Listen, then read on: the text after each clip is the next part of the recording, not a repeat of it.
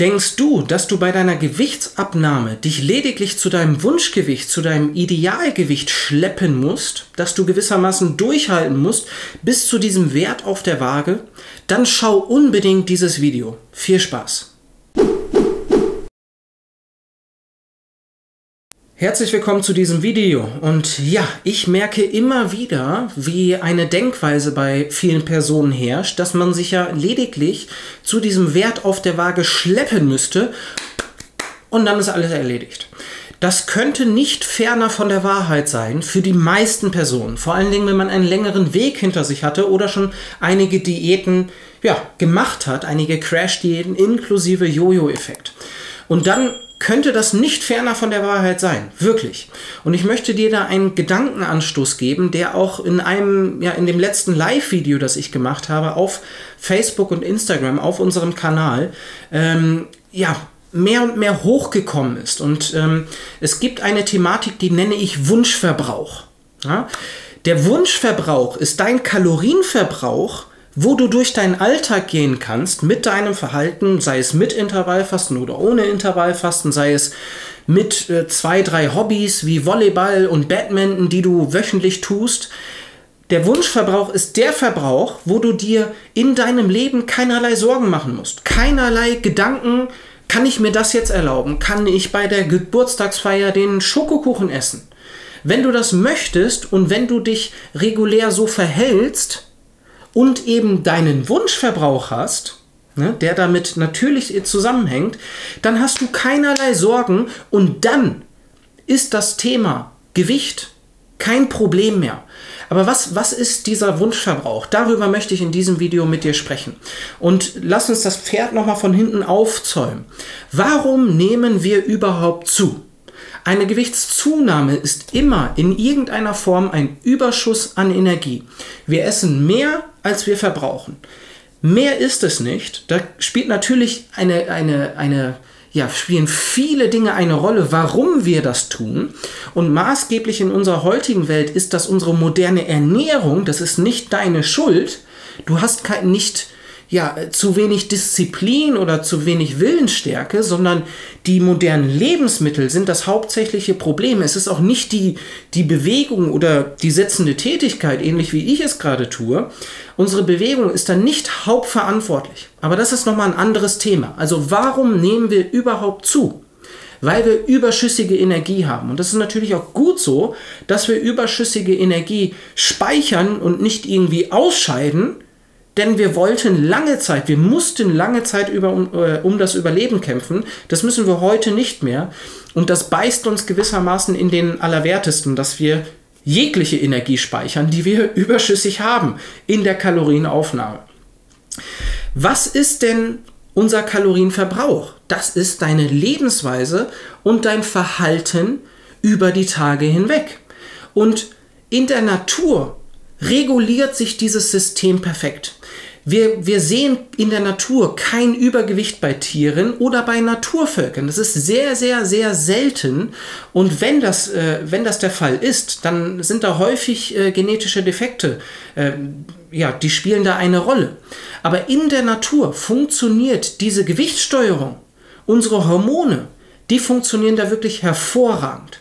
Sobald die westliche Ernährung dazukommt, geraten die Dinge außer Rand und Band. Und da gibt es nur zwei Signale, die da eine Rolle spielen im Rahmen der Kalorienbilanz. Das ist die Sättigung und dein Hunger. Denn je nachdem, wie viel du dich bewegst, wie, wie groß dein Stressniveau auch ist, hast du mehr oder weniger Hunger. Je nachdem, welche Lebensmittel du isst, bist du mehr oder weniger satt? Ich denke, wir alle kennen das, wenn wir ja, das Schoko-Karamell-Müsli essen und eine Schüssel nach der anderen essen könnten. Also ich werde da nie wirklich satt. Oder auch das Toastbrot.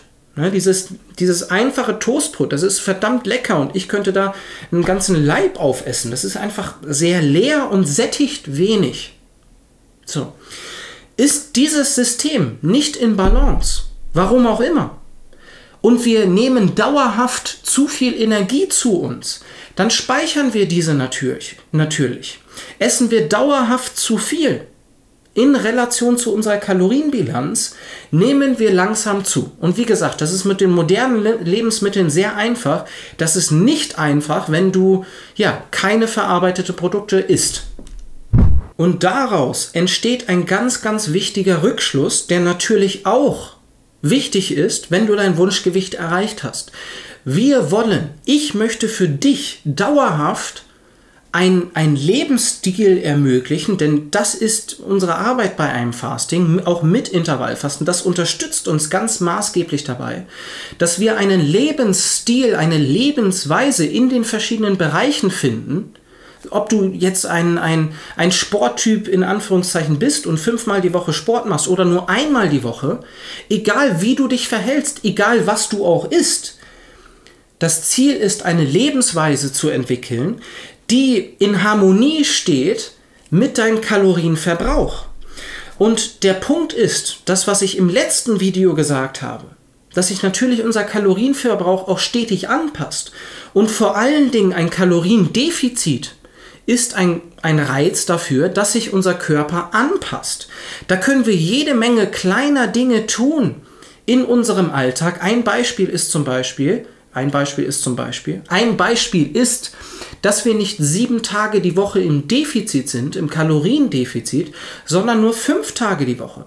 Viele Studien zeigen, dass ja ein, ein, ein dauerhaftes Kaloriendefizit jeden Tag über Wochen hinweg zu einer stärkeren Anpassung unseres Stoffwechsels führt. Und dazu kann ich dir eine Studie verlinken, äh, die kürzlich auch mal wieder dies bestätigt hat.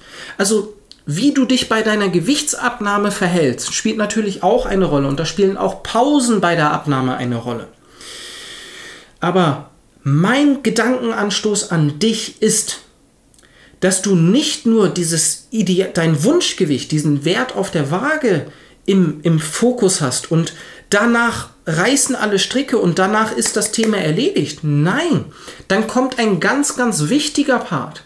Dann kommt der Part, der eigentlich der schönste Part, dass wir oder, oder du deinen Kalorienverbrauch dahingehend trainierst, auf den Punkt, wo du in Harmonie mit deinem Verhalten stehst.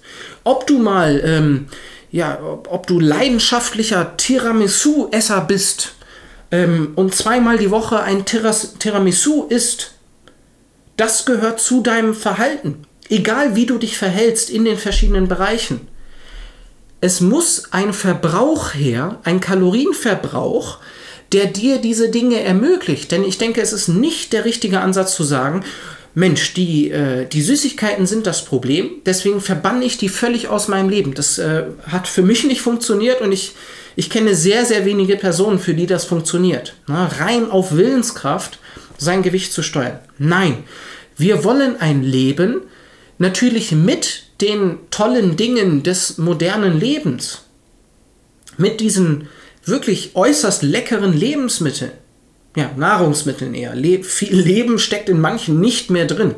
Äh, zum Beispiel im angesprochenen Toastbrot. Wir wollen einen Verbrauch für dich, dass du in Harmonie mit deinem Leben, ja, dein Leben führen kannst. Ähm, ich hoffe, das ist rübergekommen. Ich hoffe, es ist rübergekommen, dass ja, ein, ein Kalorienverbrauch von vielleicht 1500 Kalorien nicht einhergeht mit deinen, mit deinen Gelüsten und dein, deinem Lebensstil auf Dauer. Und warum nehmen wir zu? Nicht, weil wir mal einen Tag außer Rand und Band gegessen haben an, bei einer Hochzeit, sondern weil wir dauerhaft in einer Missbalance stehen von unserem Kalorienverbrauch zu dem, was wir aufnehmen. Und deswegen ist äh, das Thema Wunschverbrauch wirklich, wirklich wichtig. Und ähm, ich hoffe, das hat dir ähm, ja einen Schubs in die richtige Richtung gegeben. Ähm, denn die Gewichtssteuerung hört nicht beim Wunschgewicht auf. Für die allermeisten. Es kann da aufhören, muss es aber nicht. Ich hoffe, dass dir dieses Video und dieser wichtige Gedankenanstoß äh, etwas gebracht haben, dass dich diese Informationen interessieren und dann stell sicher, dass du ja, dem Video einen Daumen hoch ähm, da lässt und wenn du das Video nicht gut fandest, dann stell sicher, dass du zweimal auf den Daumen runter drückst, dass du auch wirklich sicher gehst, dass ähm, der, der Daumen runter ankommt. Und wenn dich weitere Informationen interessieren, dann schau gerne auf unserer Website www.imfasting.de vorbei und stelle sicher, falls du es noch nicht getan hast, dass du dir ein gratis Exemplar von meinem neuen Buch Darf es etwas leichter sein sicherst. Da geht es auch um die verschiedenen Bereiche, die im Rahmen unserer Gewichtssteuerung eine Rolle spielen und ähm, ja, eine ganz, ganz wichtige Sichtweise auf diese Themen. Ähm, und ich freue mich da auf dein Feedback. Ich freue mich äh, von dir zu lesen, wenn du das Buch gelesen hast oder Feedback zu diesem Video. Wenn du Fragen hast, gerne in die Kommentare. Ich freue mich von dir zu lesen und wünsche dir einen schönen Tag. Bis bald.